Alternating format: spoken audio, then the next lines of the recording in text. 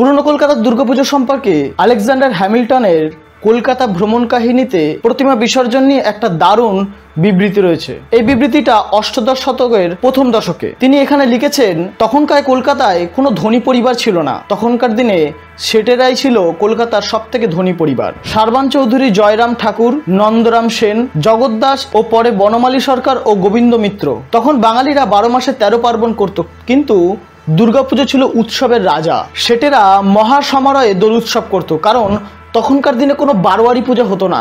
তাই সেটেরা এক একটি পুজোয় প্রায় লাখখানিক টাকা খরচা করতেন। যিনি বাংলাদেশে দুর্গাপুজো প্রথম প্রচলন করেছিলেন, সেই তাহেরপুরের রাজা কংসনারায়ণ সেই সময়কালে প্রায় দুর্গাপুজোয় খরচ করেছিল আট লক্ষ টাকা। তবে গোড়ার দিকে এই পুজোগুলিতে সাহেবদের প্রবেশ নিষিদ্ধ ছিল, যেখানে সাহেবরা এই পুজো উৎসবে প্রবেশ করতে পারতেন না। একটা ঘটনা প্রায় আমরা সকলেই জানি, দোল উৎসবে একজন সাহেব তার বাঙালি একজন বন্ধুর বাড়িতে আসায় সেই নিয়ে জব চারণকের সঙ্গে সারবান চৌধুরী নায়েবের সংঘর্ষ হয় এবং তাদের প্রতিবাদের দাবি ছিল যে কোন সাহেব কেন বাঙালি উৎসবে যোগদান করবে। সতেরোশো ছেষট্টি খ্রিস্টাব্দে হলওয়ের লেখা ইন্টারেস্টিং ইভেন্টস অফ হিস্টোরিক্যান এই গ্রন্থটিতে তিনি লিখেছেন, Durga Puja is the grand general feast of the gentleman, usually visited by all Europeans by invitation who are treated by the proprietor of the feast with the fruits and flowers. In seasons and are entertained every evening whilst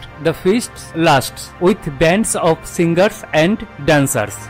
এই বিবৃতিটি হচ্ছে রাজা নবকৃষ্ণদেবের সমসাময়িক কালের নবকৃষ্ণদেবী প্রথম রাজা যিনি সাহেবদের দুর্গাপূজায় আমন্ত্রণ করেছিলেন এবং দুর্গাপুজোয় সাহেবদের পার্টিসিপেট করিয়েছিলেন এবং তাদের ভুড়িভোজ এবং নানা আমোদ প্রমোদে দুর্গা উৎসবকে মাতিয়ে রেখেছিলেন। কেননা সেই সময়ের একটি চিঠি থেকে জানা যায় নবকৃষ্ণদেব তার বন্ধুকে একটি চিঠি লিখছে, যেখানে তিনি বলছেন, লর্ড ক্লাইভকে আমি আমার বাড়ির পুজোতে আমন্ত্রণ করেছি। তোমার এবং তোমার পরিবারকে আমার বাড়িতে এই উৎসবের নিমন্ত্রণ রইল এবং তোমরা সপরিবারে এই উৎসবে যোগদান করবে। তবে সাহেবদের সাথে এই আমোদ প্রমোদ কিন্তু নিরর্থক ছিল না। কোনো একটা উদ্দেশ্য ছিল। সেই উদ্দেশ্যটা হচ্ছে, তাদেরকে ভুরিভোজ করিয়ে আমোদ প্রমোদের দ্বারা তাদের কাছ থেকে কিছু অর্থ আদায় করে নেওয়া। এই বিষয়টি দেখে অন্যান্য সেঠেরাও ধীরে ধীরে রাজা নবকৃষ্ণ দেবের মতনই ইংরেজদের বিভিন্ন উৎসবে আমন্ত্রণ করে এবং তাদের কাছ থেকে প্রায় তাদের অনুগ্রহে অনেক টাকা ইনকাম করে। উনিশশো বিরানব্বই খ্রিস্টাব্দে ক্যালকাতা ক্রনিক্যাল পত্রিকায় আমরা একটা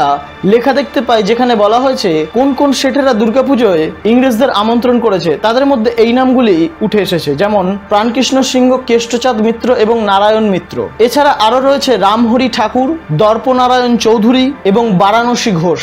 এছাড়া আরও কিছু জমিদার পরিবার ছিল যারা এই সাহেবদের আমন্ত্রণ করেছিল। তাদের মধ্যে প্রথমে যার নাম উঠে আসে, তিনি হলেন রামকান্ত চট্টোপাধ্যায় এবং পরে রাজা সুখময় রায়, প্রসন্ন কুমার ঠাকুর ও পরে দ্বারকানাথ ঠাকুর। তখনকার দিনের দুর্গাপুজোয় শেঠেদের সঙ্গে এবং ইংরেজদের সঙ্গে একটা আলাদা রকমের সম্পর্ক ছিল। সেটা এই ঘটনা শুনলে আপনি বুঝতে পারবেন। আঠারোশো কুড়ি খ্রিস্টাব্দে ফ্যানি পার্কস নামে একজন পর্যটক ভারতবর্ষের কলকাতায় ঘুরতে আসে দুর্গাপুজো দেখতে এবং দুর্গাপুজোর মণ্ডপে ঢুকে তিনি দুর্গাপুজোর মণ্ডপের পাশে একটি ছোট ঘর দেখতে পান। এবং সেই ঘরে গিয়ে তিনি অবাক হয়ে যান। কেননা সেখানে ছিল পুজোর সামগ্রী এবং নানা উপাদীয় খাদ্যে ভরপুর। যে খাদ্য প্রজারা সকল এই উৎসবের কদিন এখানেই আহার করবে।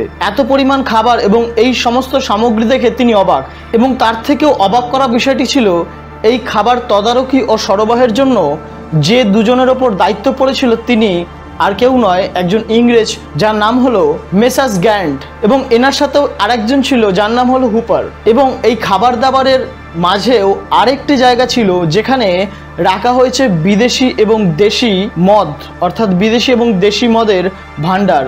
যেখানে সাহেবরা আমোদ প্রমোদে মেতে থাকবে। এবং তার ঠিক অপর দিকে অর্থাৎ পূজা মণ্ডপের অপর দিকে একটি হলঘর ছিল। যে হলঘরে আমোদ প্রমোদে বাইজিরা নাচ গান করতো। হ্যাঁ ঠিক শুনেছেন, বাইজিরা নাচ গান করতো। তখনকার দিনের সাহেবরা, শেঠেরা এবং এদেশীয় ভদ্রলোকেরা চেয়ারে বসে অথবা যেটাকে পুরনো দিনে সোফা কেদারা বলা হতো, সেই কেদারায় বসে সুরা পান করত এবং এই বাইজিদের নাচ গান দেখতো। এবং শোনা যায়, এবং এই বাইজিদের নাচ গান শুনতে এই হলঘর থেকে শুরু করে পূজা মণ্ডপের আশেপাশে ভিড়ে ভরে যেত। এবং তেমন কোনো বিখ্যাত বাইজি এলে দুর্গাপুজো সমেত পুরো পূজা মণ্ডপ লোকে লোক অরান্য হয়ে যেত। যেমন সেই সময়কার দিনে একজন বাইজি ছিল, যার নাম হচ্ছে নিকি। সেই নিয়ে বিদেশের মাটিতে অথবা আমাদের দেশের মাটিতে অনেক কাহিনী রয়েছে, যেখানে ইংরেজরা যদি আমাদের ভারতবর্ষে এসে বাইজি নাচ দেখতে চাইতেন তাহলে প্রথমে তার ডিমান্ড হতো নিকি নিকি নামক একজন বাইজিকে। এনার সম্পর্কে আমরা পরের ভিডিওতে জানব। তো যাই হোক, এই বাইজিদের নাচ গান, উৎসবের সমারোহ এবং অঢেল পরিমাণ খাদ্য নিয়ে আমাদের প্রাচীন দুর্গাপুজো প্রায় মহা ধুমধামে হতো। এবং এই বাইজি নাচ পরবর্তীকালে কেন বন্ধ হলো, এই নিয়ে একটা ডিটেল ভিডিও আমরা পরবর্তীকালে আবার দেবো। দেখতে থাকুন। Thank you thanks for watching this video